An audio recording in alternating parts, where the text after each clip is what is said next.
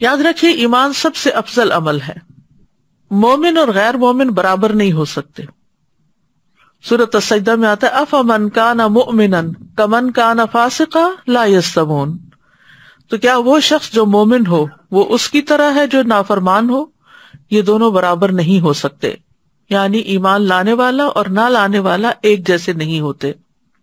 نہ ان کی زندگی ایک جیسی ہوتی ہے، نہ موت ایک جیسی ہوتی ہے اور نہ موت کے بعد کے مراحل ایک جیسے ہوتے ہیں۔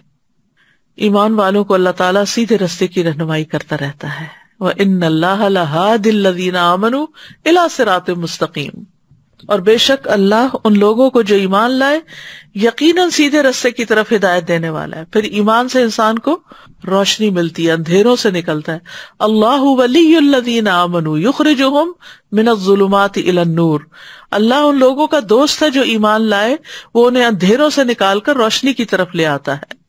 حیات طیبہ ملتی ہے، عمدہ زندگی ملتی ہے۔ من عمل صالحا من ذکر او انثى وهو مؤمن فلنحيينه حياة طيبة ولنجزينهم اجرهم باحسن ما كانوا يعملون جو شخص بھی نیک عمل کرے، خواہ مرد ہو یا عورت، بشرطے کہ وہ مومن ہو، تو ہم اسے پاکیزہ زندگی بسر کرائیں گے۔ اور آخرت میں ان کے بہترین اعمال کے مطابق انہیں ان کا اجر عطا کریں گے۔ پھر اسی طرح دنیا اور آخرت میں ثابت قدمی نصیب ہوتی ہے۔ یوسبت اللہ الدین امن بالقول ثابت فی الحیات دنیا و فل آخرہ جو لوگ ایمان لائے، انہیں اللہ قول ثابت یعنی کلمہ طیبہ سے دنیا کی زندگی میں بھی ثابت قدم رکھتا ہے اور آخرت میں بھی رکھے گا۔ یعنی استقامت اسی سے ملتی ہے۔ اللہ کا ساتھ ملتا ہے۔ وہ ان اللہ المؤمنین اللہ کا فضل ملتا ہے۔ واللہ ذو فضل علی المؤمنین۔ اور اللہ مومنوں پر بڑے فضل والا ہے۔ بندوں کی محبت ملتی ہے۔ ان الذین آمنوا وعملوا الصالحات سیجعل لهم الرحمن ودا۔ یقیناً جو لوگ ایمان لائے ہیں اور وہ اچھے کام کر رہے ہیں، اللہ ان کے لیے لوگوں کے دلوں میں ضرور محبت پیدا کر دے گا۔ دنیا اور آخرت میں ایسے لوگوں کو خوشخبریاں ملتی ہیں۔ اللہ آمن وکان یتقون، لہم البشرا فی الحیات دنیا و فل آخرا جو لوگ ایمان لائے اور اللہ سے ڈرتے رہتے ہیں، ان کے لیے دنیا میں بھی خوشخبری ہے اور آخرت میں بھی۔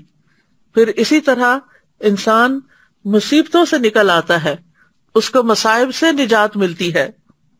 تم منجی رسولنا ولدینا منو کزال کا حق علینا ننجل مؤمنین پھر ہم اپنے رسولوں کو نجات دیتے ہیں اور ان کو بھی جو ایمان لائے۔ اسی طرح ہم پر حق ہے کہ ہم مومنوں کو نجات بخشیں۔ پھر شیطان سے حفاظت ملتی ہے۔ ان لئی صلاح سلطان الدین امن و اللہ رب یتوکلون اس شیطان کا ان لوگوں پر کوئی بس نہیں چلتا جو ایمان لائے اور اپنے رب پر بھروسہ کرتے ہیں۔ پھر اسی طرح انسان کو اچھائی برائی کی پہچان ہوتی ہے اس ایمان کے نور کی وجہ سے جو انسان کے سینے میں ہوتا ہے۔ ایمان کی وجہ سے گناہوں کی بخش ملتی ہے۔ ایمان کی بدولت ہی جنت میں داخلہ ملتا ہے۔ کیونکہ جنت میں صرف ایمان والے ہی داخل ہو سکیں گے۔ وہ ازات علیہم آیات زیادت ایمانا اور جب ان پر اس کی آیات پڑھی جاتی ہیں تو وہ ان کے ایمان میں اضافہ کر دیتی ہیں۔ یاد رکھیے کہ قرآن کی آیات ایمان بڑھانے کا ذریعہ بنتی ہیں۔ اگر انسان کے اندر نرمی ہو، انسان کے اندر سننے کا جذبہ ہو۔ افسوس یہ کہ اب ہماری زندگیوں میں پہلے سے کہیں زیادہ ڈسٹریکشن ہو گئی ہیں۔ جب فون نہیں تھے اور خاص طور پر ہر وقت ہاتھوں میں نہیں تھے، تو اس وقت انسان اگر قرآن پڑھنے لگتا تھا تو کسی کو یہ خیال نہیں آتا تھا کہ اٹھ کے قرآن چھوڑ کر فون اٹینڈ کرے کہتے تھے اچھا بعد میں کال کر لیں گے۔ لیکن اس وقت سات موبائل ہے سات قرآن ہے، تھوڑا سا ادھر پڑھ رہے ہیں، تھوڑا سا ادھر دیکھ رہے ہیں۔ تو یہ کس چیز کی علامت ہے؟ قرآن ان کے دلوں پر کوئی اثر نہیں کرتا۔ ان کے دل کہیں اور ہی مگن ہے کہیں اور ہی کی فکرے ہیں۔